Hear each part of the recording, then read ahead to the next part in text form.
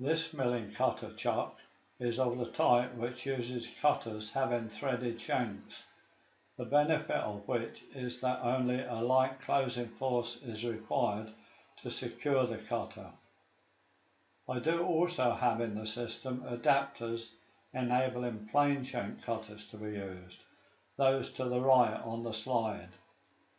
A little more torque needs applying to these to secure them as they are not self-tightening, but still not excessive. In both cases, the cutter is held in such a way that it cannot be drawn out under the influence of the cutter's helix, something that normal collets cannot guarantee, which in any case need considerably more torque applied to secure the cutter.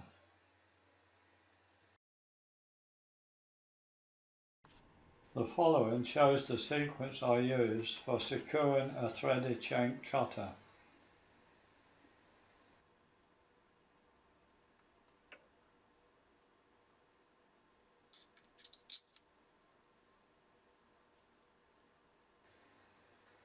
The cutter is screwed into the collet so that the end of the cutter is almost level with the end of it.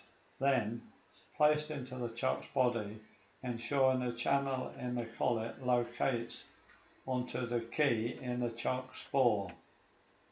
The closing ring is then fitted and tightened very slightly.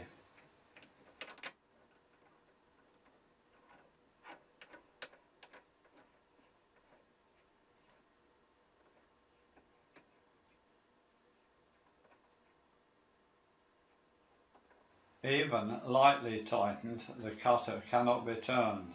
Therefore, the closing ring is turned back just a few degrees to enable the cutter to be rotated so that its end contacts the base of the chuck. This ensures that if the cutter does rotate in the collet, the collet will be pulled forward tightening its grip. The cutter will though remain in the same place axially. It is then lightly tightened using a C-spanner. It may come as a surprise that normally when using cutters with threaded shanks, I just hand tighten the chuck. Only when taking light loads, which would not rotate the cutter in the chuck, do I use the C-spanner.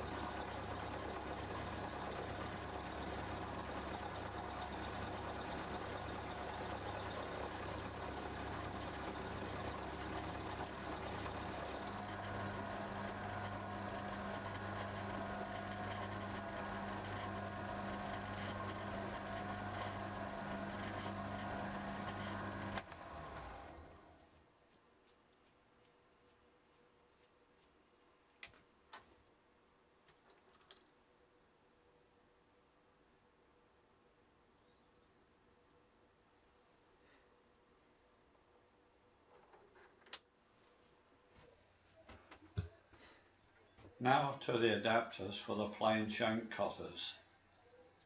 I have two forms of these, looking first at the ones where the bore goes fully through. There are two screws which close onto the flap of the cutter shank.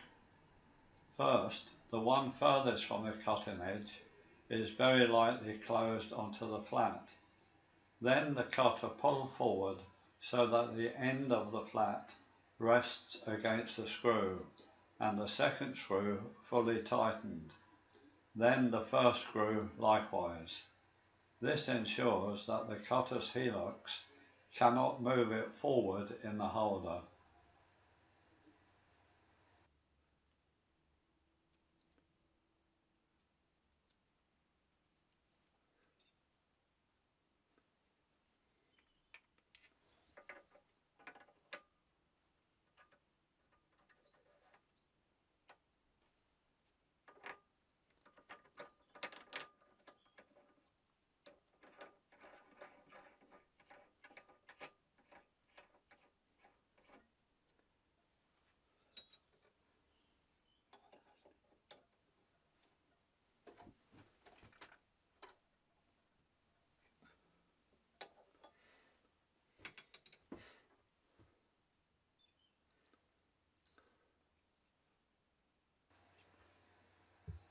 The other adapter is very similar, but the hole to take the cutter is blind and has a grub screw in the end of it.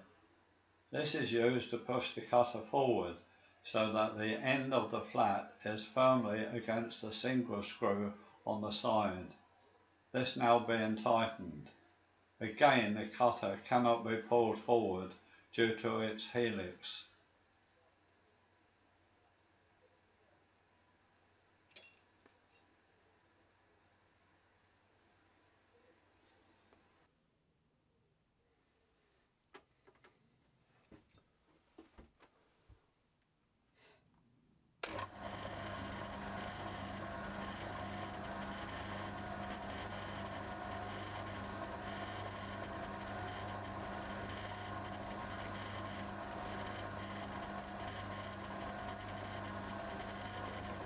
Now that we are machining with a cutter having just two cutting edges, the feed rate has to be reduced.